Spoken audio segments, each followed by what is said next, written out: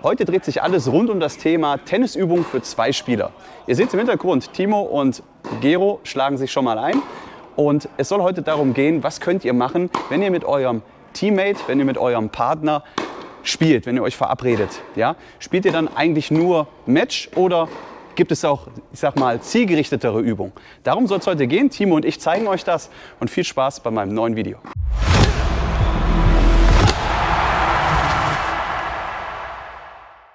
Wir starten mit Übung 1, den Rhythmus aus der Ecke. Ich verteile mit der Vorhand. Gero wird mir zweimal in meine Vorhandecke zurückspielen und ich verteile aus der Vorhand, gehe immer wieder zurück zur Mitte. Dann spielt er einmal Rückhand Longline, danach wird er wieder zweimal Vorhand Cross spielen und ich übe aus der Vorhandecke mit Rückwärtslaufposition den Ball zu verteilen.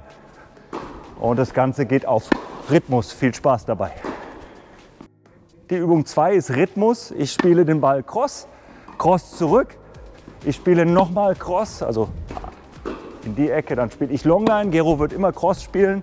Den ersten Ball spiele ich Cross zurück. Jetzt spiele ich meinen zweiten Schlag, spiele ich Longline. Gero spielt immer Cross. Ich spiele einmal Cross. Nächste Ball Longline. Wir versuchen das auf Rhythmus. Und der Ball bleibt im Spiel. Viel Spaß dabei. Und die Positionen kann man im, dann natürlich auch wechseln dass einmal nur Cross gespielt wird, einmal Cross Longline.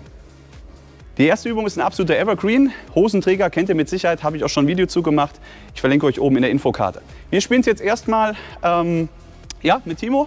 Ich bin Cross-Spieler, Timo ist Longline-Spieler. Und jetzt gehen wir erstmal auf Rhythmus, versuchen hier den Ball gut zu halten. Das ist relativ klar. Timo muss jetzt mehr laufen, weil er auf der Cross-Seite ist. Deswegen muss man gucken, dass man nicht zu schnell spielt. Ja, klappt wunderbar. Das Ganze natürlich geht auch umgedreht. Und jetzt zeige ich euch eine schöne Spielform, die ihr dann im Training machen könnt, wo ihr dann auch Punkte ausspielen könnt. Und zwar nennt sich das der Drei-Punkte-Hosenträger. Wir spielen drei Punkte aus. In der ersten Runde spielst du Longline, ich Cross und wir spielen jetzt den Punkt aus und müssen immer im Hosenträger bleiben. Ja, schlecht von mir, schlecht von mir, direkt Risiko gegangen. Und jetzt spielen wir den zweiten Punkt. Zweiten Punkt, Timo hat die Aufgabe jetzt Cross zu spielen, ich Longline. Steht 1-0 für Timo.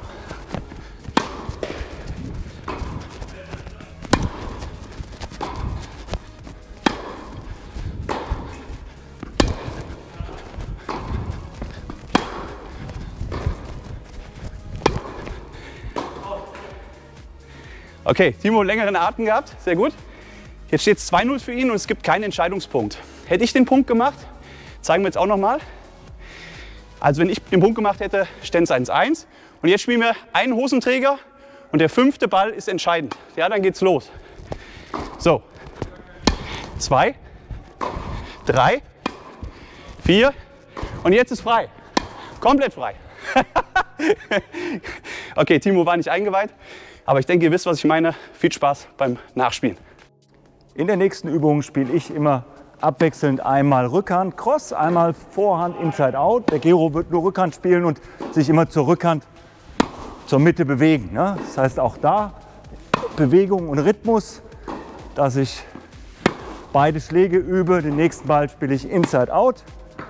Wenn es mal ein anderer Schlag ist, ist nicht schlimm, aber versucht, dass ihr den Abstand habt. Auch da viel Spaß. Gefällt dir mein Video? Dann schau in die Videobeschreibung. Dort erfährst du, wie du mich unterstützen kannst. Weiter geht's. So, auch die nächste Übung geht auf Rhythmus und die spielt jetzt der Chris mit dem Timo. Das heißt, ich nehme euch jetzt hier einfach mal mit. So, und Chris hat die Aufgabe, hier vorne Rückhand Topspin zu spielen. Timo hat die Aufgabe, Rückhand Slice zu spielen. Ja, und der Ball wird gehalten und ihr versucht es so lange, wie es geht, zu halten. So, jetzt wechseln wir mal. Ja, Timo spielt Topspin, genau. Das könnt ihr, könnt ihr wunderbar dann zusammen machen. Ja?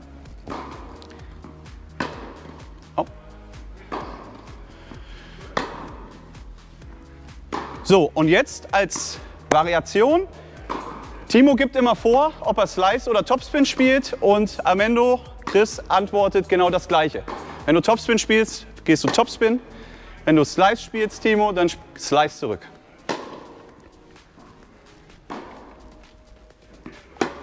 Genau, prima Rhythmusübung. Gerade zum Eingewöhnen in die Halle, immer auch wichtig, ja, weil die Bälle gerade jetzt hier beim Slice schnell werden, im Gegensatz zum Sand. Und so, das könnt ihr wunderbar machen. Jetzt eine Variation. Der äh, Chris spielt bitte irgendwann einen Rückhand-Slice, Longline und dann ist der Punkt frei. So, das ist dann für die Leute, die dann auch gerne matchen wollen. Und jetzt entsteht ein Spiel.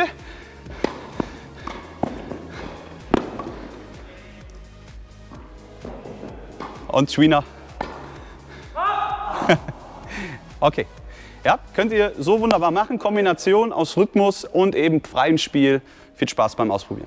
So, bei der nächsten Übung geht es darum, den Ball früh zu nehmen. Wir stehen im Feld, hier im dunkelblauen Bereich und versuchen die Bälle im Feld zu nehmen. Rhythmus, den Ball früh nehmen, im Steigen nehmen und zur Not auch mal ein Volley spielen, aber ich darf nicht nach hinten raus. So, die nächste Übung auch wieder erstmal auf Rhythmus und dann allerdings wird wieder matched gespielt. Ja? Die beiden Spieler jetzt hier, Chris und Geros, sollen den Ball im Doppelkorridor halten. Das ist gar nicht mal so einfach, sieht immer oder klingt einfacher als es ist und versuchen jetzt hier erstmal zu halten. Als Variation könnte man jetzt machen, dass die beiden immer abwechselnd Vorhand Rückhand spielen sollen. Das heißt, Chris spielt gerade eine Vorhand und muss den nächsten Ball Rückhand spielen. Genau. Ja, also jetzt, jetzt Rückhand, so und den nächsten musst du Vorhand spielen, egal wie er kommt. Genau. So, den nächsten musst du wieder Rückhand spielen, egal wie er kommt. Ja? So müssen sich die Spieler auch immer rumbewegen um den Ball. Und dann habt ihr hier eine wunderbare Übung. So, einmal kurz anhalten. Jetzt zeige ich, was ihr machen könnt zum Ausspielen. Hier wird jetzt gleich ausgespielt im Doppelkorridor. Wenn dreimal getroffen wurde, wird ein Ball ein zweiter gespielt und dann wird der Punkt ausgespielt. Wir zeigen euch, wie es geht. Ich gehe dann raus. Chris fängt an. Anspiel, so und wir zählen eure Treffer. Anspiel zählt noch nicht mit. Eins, zwei, drei. Jetzt spielt Chris eins weiter und Punkt wird ausgespielt. Jetzt komplett im Freien. Genau. Sehr gut. Ja? Auch hier wieder eine schöne Kombination aus Rhythmus und anschließenden Ausspielen. Viel Spaß beim Ausprobieren. Bei der nächsten Übung geht es äh, Cross los. Das heißt, wir beginnen in einem Cross-Duell. Der Chris darf nur Cross spielen, Gero darf ab dem zweiten Ball Longline. Dann ist das ganze Feld offen. Wir schauen es uns an. Cross beginnen. Solange es Cross geht, bleibt es Cross. 1-0 für Gero. Erster Ball muss von Gero Cross zurück und jetzt hat er die Möglichkeit jederzeit Longline zu spielen oder er bleibt im Cross-Duell. Jetzt wird der Punkt ausgespielt, da er einmal Longline war. 2 zu 0. Gut. Die nächste Übung ist ein klassischer Elber. Wir starten aber Cross. Das heißt, der Anspieler sucht sich aus, in welche Richtung er anspielt. Der erste Ball muss Cross retourniert werden, dann geht's los. So, okay. wir gucken mal. Der Chris beginnt, spielt Cross an, Cross Return und jetzt offen. Ganze Feld frei. Punkt wird ausgespielt. So kann man ja, 1-0 für Chris. Jetzt kann er den nächsten Ball wieder anspielen, darf aber in Vorhand oder Rückhand anspielen, auch etwas zügiger und der Return äh, muss Cross gespielt werden. Anspiel kann man nach dem Satz wechseln oder man kann es auch immer abwechselnd machen. Wichtig ist, wir beginnen Cross wie beim normalen Tennismatch auch. Viel Spaß! Die nächste Übung ist sehr interessant, heißt Wechsel und Spiel. Ja, es geht immer los, Vorhand Cross. Wir zeigen es jetzt hier mal Chris und Gero. Und der Chris hat jetzt die Aufgabe, immer Wechsel zu sagen oder Gero kann Wechsel sagen. Genau, jetzt hat er Wechsel gesagt, das heißt, er geht in die Cross und die beiden halten jetzt Vorhand Cross den Ball.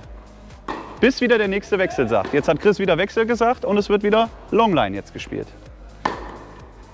So, wichtig ist, Gero kann auch Wechsel sagen, ja, ne, dann ist eben Chris auch immer gefordert und das Ganze kann man eben jetzt auch noch neu, beziehungsweise neu, sondern ergänzen als Ausspielübung, nämlich wenn man Spiel sagt. So, jetzt war wieder Wechsel und jetzt kann jemand Spiel sagen. Wieder Wechsel. Spiel. Einmal long, ja genau. Und Spiel. Go. Genau. Und dann ist der Punkt frei und wir haben wieder eine Kombination aus einer Rhythmusübung und eben einer Ausspielübung. Viel Spaß beim Ausprobieren. Das waren unsere Übungen für zwei Spieler. Ja, probiert es mal aus. nicht immer nur matchen, auf den Platz gehen, zwei Minuten einspielen und dann direkt, äh, ja, direkt anfangen, sondern probiert mal solche Übungen aus. Bringt in der Regel viel mehr. Ihr kommt ins Schwitzen ja, und habt weniger Pausen und macht auch mehr Schläge. Ja.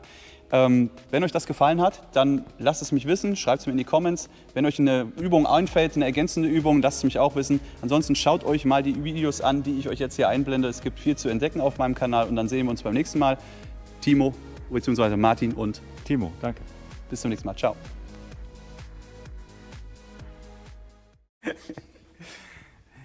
So, das, wieder, so- wieder so. Ich kann es nicht. Das lassen wir jetzt drin. Ja, aber nee, ich habe gar nicht ins Mikrofon gesagt. So, die nächste Übung. So, fangen wir das so. Die nächste Übung heißt Wechsel und Spiel. Ja. So, die nächste Übung ist sehr interessant. Heißt Wechsel. Was denn? Hast du wieder so gesagt. Also, Übungsergänzung und dann sehen wir uns beim nächsten Mal. Timo, Vielen Dank. Ja. Ja. bye bye. Ich weiß nicht, was du von mir wolltest. Ich dachte, du redest jetzt zu Ende und ich grinse nur so ein bisschen. Ah, Spaß gemacht. Machen wir nochmal, komm. Ja. Das waren unsere Übungen zum. jetzt, jetzt, jetzt, jetzt, jetzt, jetzt, mit dir? ja.